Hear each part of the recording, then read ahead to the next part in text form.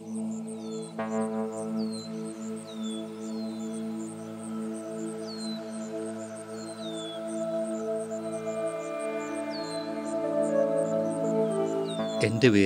റിവോൾഡോ. റിവോൾഡോ എന്ന് കേട്ടാൽ നിങ്ങൾ വിചാരിക്കും ബ്രസീലിന്റെ പഴയ കൊല്ലകമ്പൻ ഫുട്ബോൾ പ്ലെയർ എന്നൊക്കെ. ഏയ് ഞാനും ഫുട്ബോളും തമ്മിൽ ഒരു ബന്ധവുമില്ല. ഞാനൊരു ആനയാണ്. ഒരു പാവ ആന. പറഞ്ഞു വരുമ്പോൾ ഞാനും നിങ്ങളുടെ അരിക്കൊമ്പനെ പോലെയൊക്കെ ആയിരുന്നു. ഗ്രാമത്തിലെ ജീവിതമായിരുന്നു എനിക്കും ഇഷ്ടം.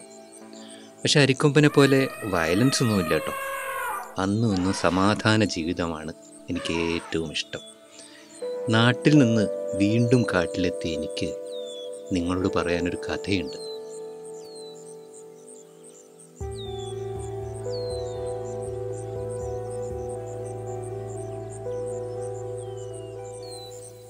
ആരെയും മയക്കുന്ന സൗന്ദര്യമുള്ള മസനഗുടി അവിടുത്തെ മാവനള്ള എന്നൊരു കൊച്ചു ഗ്രാമം. അവിടെയാണ് ഞാൻ ജനിച്ചതും വളർന്നതൊക്കെ. കാട്ടാനക്കൂട്ടത്തിനൊപ്പം ഭക്ഷണം തേടി ഇറങ്ങുന്നതിനിടെ ഒരിക്കലും മാവനള്ളക്കാരനായ മാർക്ക് ദാവിദാറുമായിട്ട് ഞാൻ കൂട്ടാവുന്നു. മാർക്ക് അസൽ ഫുട്ബോൾ ഭ്രാന്തനാണ് കേട്ടോ ഈ മാർക്കാണ് എനിക്ക് റിവോൾഡോ എന്ന് പറയുന്ന ബ്രസീലിയൻ ഫുട്ബോളറുടെ പേര് തന്നത്. നല്ല രസമുള്ള പേരല്ലേ? അങ്ങനെ ഞാനും മാർക്കും തമ്മിലുള്ള സൗഹൃദം വളർന്നു. ആ സമയത്താണ് ഒരു വലിയ സങ്കടം ഉണ്ടായത്. ഒരു ഷീറ്റിൽ തട്ടി മുറിഞ്ഞ് എന്റെ തുമ്പിക്കൈയുടെ അറ്റം അങ്ങ് പോയി. പിന്നെ ഭക്ഷണം കഴിക്കാൻ പോലും വഴിയില്ല. തുമ്പിക്കൈ പുഴുവരിച്ച് നിന്ന എന്നെ മാർക്ക് തന്നെയാണ് രക്ഷപ്പെടുത്തിയത്. പിന്നെ എനിക്ക് സുന്ദരകാലായിരുന്നു മാർക്ക് എവിടെ നിന്നൊക്കെയോ കരിമ്പും പഴവും ശർക്കരയും എല്ലാം വരുത്തി എന്നെ ഊട്ടിക്കൊണ്ടിരുന്നു. പക്ഷേ മാർക്ക് ഒരു ദിവസം മരിച്ചുപോയി. അതോടെ ഞാൻ ഒറ്റയ്ക്കായ പോലെയായി അനാഥനായ പോലെയായി. സങ്കടവും ദേഷ്യമൊക്കെ ഉണ്ടായെങ്കിലും ഞാൻ മാവനള്ളിയിലെയും മസനഗുഡിയിലെയും നാട്ടുകാരുമായിട്ടങ്ങ് സൗഹൃദത്തിലായി.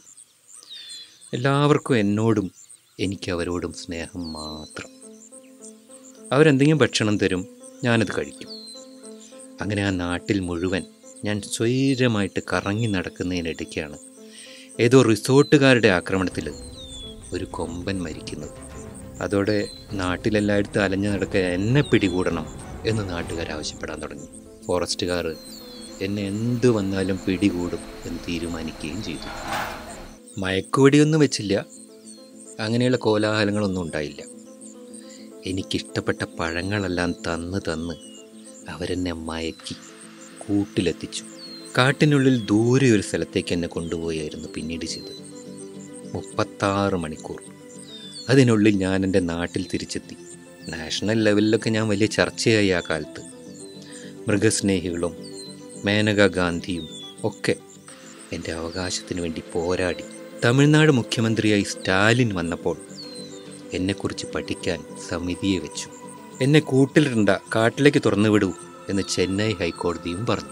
അങ്ങനെ എനിക്ക് സ്വാതന്ത്ര്യം കിട്ടി. ഗ്രാമീണ ജീവിതത്തിൽ നിന്ന് എന്നെ മുഴുവനായും കാട്ടാനയാക്കാനാണ് ഫോറസ്റ്റുകാരുടെ ശ്രമം. ഇപ്പോൾ ഞാൻ വി ഐ പി ആണ്.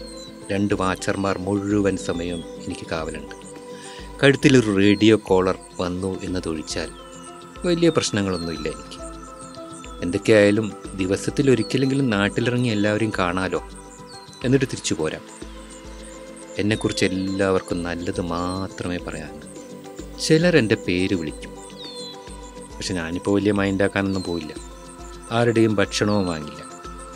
എന്നെ കൂട്ടിലടയ്ക്കാൻ കൂട്ടുനിന്നവരോട് ഇടയ്ക്ക് ദേഷ്യമൊക്കെ വരുമല്ലോ. പക്ഷെ ഞാൻ ആരും ഒന്നും ചെയ്യാറില്ല കേട്ടോ. ഇത് തന്നെയാണ് എനിക്ക് നിങ്ങളുടെ അരിക്കൊമ്പനോടും പറയാനുള്ളത്. നാട്ടുജീവിതം എല്ലാം ഉപേക്ഷിച്ച് കാട്ടിലേക്ക് പോരൂ. ഇവിടെ സംഗതി കുശാലാണ്. ഇടയ്ക്ക് നാട് കാണാൻ തോന്നിയാൽ പോവാലോ എന്നെ പോലെ. ഇതാണ് എന്റെ കുട്ടി പോസിറ്റീവ് സ്റ്റോറി.